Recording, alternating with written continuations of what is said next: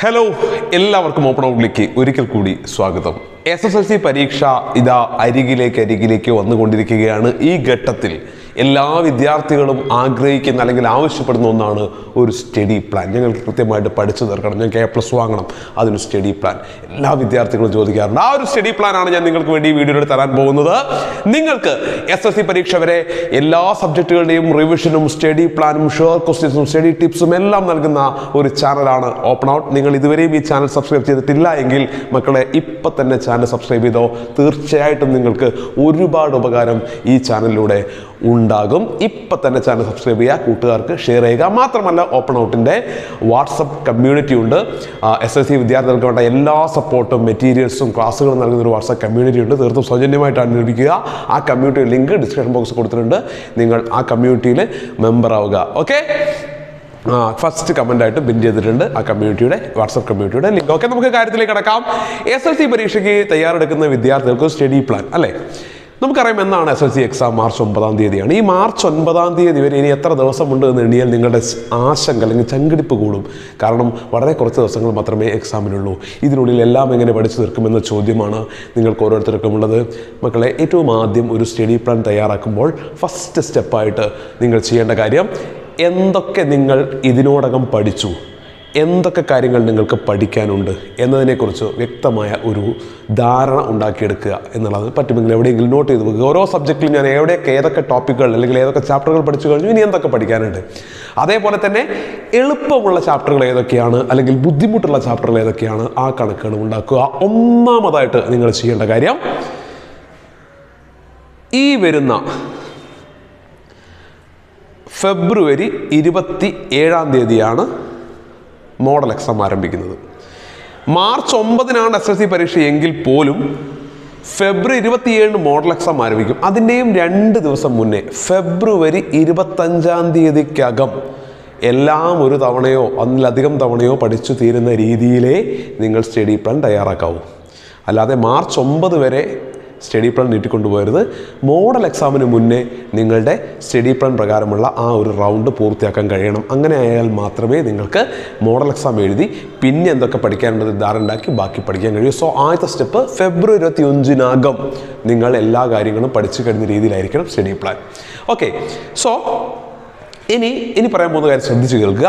ഞാൻ നേരത്തെ നിങ്ങളോട് പറഞ്ഞല്ലോ നിങ്ങൾക്ക് ബുദ്ധിമുട്ടുള്ള ചാപ്റ്ററുകൾ എളുപ്പമുള്ള ചാപ്റ്ററുകൾ രണ്ടും പ്രത്യേകം പ്രത്യേകം നോട്ട് ചെയ്ത് വെക്കാൻ. ചിലപ്പോൾ ചില സബ്ജക്റ്റിലെ എല്ലാ ചാപ്റ്ററുകളും ഈസി അപ്പോൾ മലയാളം പോലെയുള്ള സബ്ജക്റ്റ് ഒക്കെ ചിലപ്പോൾ നിങ്ങൾക്ക് എല്ലാം എളുപ്പമായിരിക്കും. എങ്കിൽ ആ സബ്ജക്റ്റ് പൂർണമായിട്ട് നിങ്ങൾക്ക് എളുപ്പമുള്ളതിലേക്ക് മാറ്റി വെക്കാം ഏറ്റവും ആദ്യം നിങ്ങൾ ചെയ്യേണ്ടത് ഒരു ഫെബ്രുവരി പന്ത്രണ്ട് പതിമൂന്നൊക്കെ ആകുമ്പോഴേക്കും ഒരു ഫെബ്രുവരി പന്ത്രണ്ട് പതിമൂന്ന് പതിനാല് ഈ ഡേറ്റ് ഒക്കെ ആകുമ്പോഴേക്കും ആദ്യത്തെ കാറ്റഗറിയിലുള്ള അതായത് നിങ്ങൾക്ക് പഠിക്കാൻ ബുദ്ധിമുട്ടുള്ള നിങ്ങൾക്ക് ഇതുവരെയും കൃത്യമായി നിങ്ങൾ പഠിച്ചിട്ടില്ലാത്ത ആ പാഠഭാഗങ്ങളെല്ലാം നിങ്ങളത് ലിസ്റ്റ് ചെയ്ത് വെച്ചിട്ടുണ്ടല്ലോ ആ പാഠഭാഗങ്ങളെല്ലാം ആ സമയത്തിനുള്ളിൽ തന്നെ പഠിച്ചു തീർക്കുന്നു എന്ന് നിങ്ങൾ ഉറപ്പ് ഉറപ്പുവരുത്തുക നിങ്ങൾ ആദ്യം പഠിക്കേണ്ടത് ബുദ്ധിമുട്ടുള്ള പാഠഭാഗങ്ങളാണ്. അത് കൃത്യമായിട്ട് ഒരു ഫെബ്രുവരി പതിമൂന്ന് പതിനാലിനുള്ളിൽ തന്നെ നിങ്ങൾ പഠിച്ച് തീർക്കുക. അതിനും എത്ര നേരത്തെ നിങ്ങൾ തീർക്കാൻ പറ്റുന്നു അത്രയും നല്ലത് പരമാവധി പോകുന്ന ഡേറ്റാണ് ഒരു പതിമൂന്ന് പതിനാല് എന്നൊക്കെ പറഞ്ഞാൽ അതിനുള്ളിൽ നിങ്ങൾ ബുദ്ധിമുട്ടുള്ള നിങ്ങൾ ഇതുവരെ പഠിക്കാത്ത പാഠഭാഗങ്ങളൊക്കെ പഠിച്ചു തീർക്കുന്നതിന് ആദ്യത്തെ പ്രയോറിറ്റി കൊടുക്കുന്നത് പകരം നിങ്ങൾ ആദ്യം എളുപ്പമുള്ള പാഠഭാഗങ്ങളാണ് പഠിക്കുന്നത്. എങ്കിലുള്ള പ്രശ്നം നിങ്ങളുടെ മൈൻഡിൽ എപ്പോഴും ഒരു ചിന്തയുണ്ടാവും. ഈ എളുപ്പമുള്ള പാടൊക്കെ പഠിക്കുമ്പോഴോ ഇന്ന ചാപ്റ്റർ ഭയങ്കര ബുദ്ധിമുട്ടാണ് അത് ഇനിയും പഠിക്കാനില്ലേ? എന്നൊരു ചിന്ത നിങ്ങൾക്ക് വല്ലാത്ത പ്രഷർ നൽകും. നേരെ തിരിച്ച് നിങ്ങൾ ബുദ്ധിമുട്ടുള്ള പാഠഭാഗങ്ങളാണ് ആദ്യം പഠിച്ച് തീർത്ത് തീർത്ത് പോകുന്നതെങ്കിൽ നിങ്ങൾക്ക് കോൺഫിഡൻസ് കൂടി കൂടി വരും. കാരണം ടഫുള്ള ചാപ്റ്റേഴ്സ് ഞാൻ പഠിച്ചു കഴിഞ്ഞു. ബുദ്ധിമുട്ടുള്ള ഭാഗങ്ങൾ ഞാൻ പഠിച്ചു കഴിഞ്ഞു. ഇനി അങ്ങോട്ട് എനിക്ക് എളുപ്പമുള്ളതാണ് വരാനുള്ളത്. അപ്പോൾ നിങ്ങൾക്ക് വല്ലാത്തൊരാവശ്യം വരും വേഗത്തിൽ പഠിച്ച് മുന്നോട്ട് പോകാൻ. അതുകൊണ്ട് തന്നെ ആദ്യം നിങ്ങൾ പഠിക്കേണ്ടത് ബുദ്ധിമുട്ടുള്ള പാഠങ്ങളാണ്. അതിനൊരു കട്ട് ഓഫ് ഡേറ്റ് വെക്കണം. ആ ഡേറ്റിനുള്ളിൽ അത് പഠിച്ച് തീർക്കാൻ ഏത് വിധേനയും നിങ്ങൾ ശ്രമിക്കണം. കാരണം എനിക്കറിയാം നിങ്ങൾക്ക് നൈറ്റ് ക്ലാസ്സുകളും എക്സ്ട്രാ ക്ലാസ്സുകളും ഒക്കെ ഉണ്ട്. ഇതിനൊക്കെ ഉള്ളിൽ നിങ്ങൾ സമയം കണ്ടെത്തണം. ഫെബ്രുവരി പന്ത്രണ്ട് പതിമൂന്നിന് ശേഷം അതായത് ആദ്യത്തെ റൗണ്ടിൽ നിങ്ങൾക്ക് ബുദ്ധിമുട്ടുള്ള പാഠഭാഗങ്ങളെല്ലാം പഠിച്ചു കഴിഞ്ഞ ശേഷം പിന്നെ നിങ്ങൾ ഫോക്കസ് ചെയ്യേണ്ടത് എളുപ്പമുള്ള പാഠഭാഗങ്ങളിലേക്ക് കടക്കാനാണ്. പക്ഷേ അപ്പോഴും നിങ്ങളൊരു കാര്യം ചെയ്യണം. ഈ എളുപ്പമുള്ള പാഠഭാഗങ്ങൾ പഠിക്കുന്നതിനോടൊപ്പം തന്നെ ഇതുവരെ ഫെബ്രുവരി പന്ത്രണ്ട് വരെയൊക്കെ നിങ്ങൾ പഠിച്ച ആ ബുദ്ധിമുട്ടുള്ള പാഠഭാഗങ്ങൾ ഒരിക്കൽ കൂടി റിവൈസ് ചെയ്യാനും നിങ്ങൾ മറക്കരുത്. ആ രീതിയിൽ ഫെബ്രുവരി ഇരുപത്തഞ്ചിനോടകം നിങ്ങൾ എന്ത് ചെയ്യണം? എല്ലാം പഠിച്ച് തീർക്കുന്ന രീതിയിൽ അത് പ്ലാൻ ആക്കി സെറ്റ് ചെയ്ത് വെക്കണം. ഓക്കെ അതിനുള്ള സമയം നിങ്ങൾ തന്നെയാണ് കണ്ടെത്തേണ്ടത്. ചിലപ്പോൾ കുറച്ചധികം ഉറക്കം വളയ്ക്കേണ്ടി വരും. അതൊക്കെ നിങ്ങൾ ചെയ്യേണ്ടി വരും. ഇനി മറ്റൊരു പ്രധാനപ്പെട്ട കാര്യമുള്ളത് ഇനി അങ്ങോട്ട് വരുന്ന ദിവസങ്ങളിൽ മാർക്ക് നിങ്ങൾക്ക് കിട്ടാൻ സാധ്യതയുള്ള കാര്യങ്ങൾക്ക് വേണ്ടി മാത്രം ചിലവഴിക്കുക സമയം ചിലവഴിക്കുക. ഇപ്പോഴും നിങ്ങൾക്ക് സ്കൂളിലേക്ക് ഒരു ലോഡ് എഴുതാനും കുറേ എഴുതാനും പിടിക്കാനും അസൈൻമെന്റും പരിപാടികളൊക്കെ ചിലപ്പോൾ ഉണ്ടാവും. അതൊക്കെ മാറ്റി വെക്കും അതൊക്കെ ഒരു പേരിനങ്ങ് തീർത്താൽ മതി.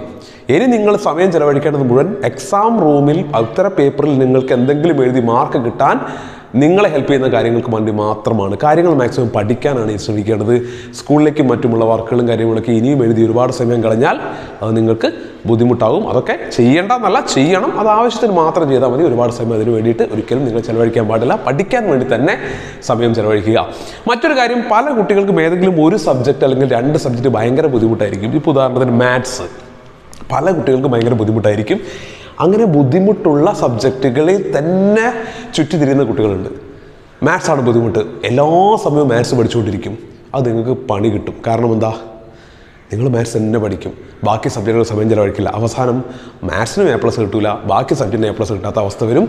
നിങ്ങൾക്ക് ഏതാണോ ബുദ്ധിമുട്ട് അതിന് കൂടുതൽ സമയം ചിലവഴിക്കണം എന്നുള്ളത് ശരിയാണ്. എന്നാൽ ഒരു കാരണവശാലും നിങ്ങൾക്ക് ബുദ്ധിമുട്ടുള്ള സമയത്ത് ആ സബ്ജക്റ്റിന് വേണ്ടി മാത്രം നിങ്ങൾ സമയം ചിലവഴിക്കരുത്. എല്ലാ സബ്ജക്റ്റുകൾക്കും സമയം ചിലവഴിക്കണം. അത് നിങ്ങൾ പ്രത്യേകം ഓർക്കുക. സോ നമ്മളൊരു സ്റ്റഡി പ്ലാൻ തയ്യാറാക്കുമ്പോൾ ശ്രദ്ധിക്കേണ്ട ചില കാര്യങ്ങൾ കൂടിയാണ് ഞാൻ ഇവിടെ നിങ്ങളോട് പറഞ്ഞിട്ടുള്ളത്. ഏറ്റവും ആദ്യം ബുദ്ധിമുട്ടുള്ള പോർഷൻസും കാര്യങ്ങളുമെല്ലാം ഒരു നിശ്ചിത ഡേറ്റിനുള്ളിൽ ഒരു കട്ട് ഓഫ് ഡേറ്റ് വെച്ച് അതിനുള്ളിൽ പഠിച്ചു തീർക്കുന്ന രീതിയിൽ കാര്യങ്ങളെല്ലാം പ്ലാൻ ചെയ്യുക.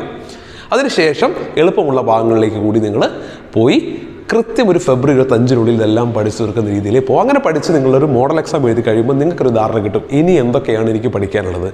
ഏതൊക്കെ മേഖലയിലാണ് ഞാൻ വീക്ക് എന്ന് നിങ്ങൾക്ക് മോഡൽ എക്സാം കഴിയുമ്പോൾ ഒരു ധാരണ കിട്ടും. പിന്നെയുള്ള കുറച്ച് ദിവസങ്ങൾ നിങ്ങൾ ആ വീക്കായിട്ടുള്ള ഏരിയ ക്ലിയർ ചെയ്തുകൊണ്ട് പെർഫെക്റ്റ് ആയിട്ട് മെയിൻ എക്സാം വരുമ്പോഴേക്കും തയ്യാറായി നിൽക്കാനാണ് ശ്രമിക്കേണ്ടത്. സോ ഞാൻ ഈ പറഞ്ഞ കാര്യങ്ങൾ നിങ്ങൾക്ക് വ്യക്തമാണ് എന്ന് കരുതുന്നു. ഈ രീതിയിൽ ഒരു പ്ലാൻ തയ്യാറാക്കിയിട്ട് നിങ്ങൾ പഠിക്കുക. ആദ്യ സ്റ്റെപ്പായിട്ട് ഞാൻ ഈ പറഞ്ഞ പോലെ തന്നെ ബുദ്ധിമുട്ടുള്ളത് എന്ത്? ഇതുവരെ പഠിക്കാത്തത് എന്ത്? അതിന്റെ ഒരു കണക്ക് അതിന്റെ ഒരു ലിസ്റ്റ് കൃത്യമായിട്ട് തയ്യാറാക്കുക. അങ്ങനെ ഒരു ലിസ്റ്റ് ഇല്ലാത്തതാണ് പല കുട്ടികൾക്കും പ്രശ്നം. കാരണം കടൽ പോലെ പഠിക്കാൻ മുന്നിൽ കിടക്കുകയായിരിക്കും. എവിടെ നിന്ന് തുടങ്ങണം എന്ത് ചെയ്യണമെന്ന് അറിവില്ലായ്മ കുട്ടികളെ ബാധിക്കും. ഇത് ഇല്ലാതിരിക്കാൻ വേണ്ടിയിട്ടാണ് ഞാൻ നിങ്ങളോട് പറയുന്നത്. കൃത്യമായിട്ടും എന്തൊക്കെ എനിക്ക് പഠിക്കാൻ ഇനിയുണ്ട്? എവിടെയാണ് ഞാൻ ഫോക്കസ് ചെയ്യേണ്ടത്? എവിടെയാണ് ഞാൻ കാര്യമായിട്ട് ഇപ്പോൾ ശ്രദ്ധിക്കേണ്ടാത്തത്. കുറച്ച് കഴിഞ്ഞ് പഠിച്ചാലും കുഴപ്പമില്ലത് ഇതെല്ലാം കൃത്യമായിട്ടും നിങ്ങൾക്കൊരു ധാരണ ഉണ്ടായിരിക്കണം. അതില്ല എങ്കിൽ ഞാൻ നേരത്തെ പറഞ്ഞ പോലെ ലക്കും ലഗാനും ഇല്ലാതെ പഠിക്കുകയും അവസാനം പരീക്ഷ എടുക്കുമ്പോൾ അയ്യോ ഇത് ഞാൻ പഠിച്ചിട്ടില്ലോ അത് ഞാൻ പഠിച്ചിട്ടില്ലല്ലോ ഇനി ഇതൊക്കെ പഠിക്കാനുണ്ടെന്ന് തോന്നുകയും ചെയ്യും. സോ ആദ്യം ഒരു ലിസ്റ്റ് ഉണ്ടാക്കുക. ലിസ്റ്റ് ഉണ്ടാക്കിയ ശേഷം ഒരു കട്ട് ഓഫ് ഡേറ്റ് വെച്ച് ആ ഡേറ്റിനുള്ളിൽ ബുദ്ധിമുട്ടുള്ള പാഠങ്ങൾ ആദ്യം പഠിക്കുക. പിന്നീട് എളുപ്പമുള്ള പാഠങ്ങളിലേക്ക് കടക്കുക. ഈ രീതിയിലൊരു പ്ലാൻ നിങ്ങൾ തയ്യാറാക്കൂ പഠിക്കൂ. എ പ്ലസ് നിങ്ങൾക്ക് ഉറപ്പാണ്. വീണ്ടും കാണാം. താങ്ക്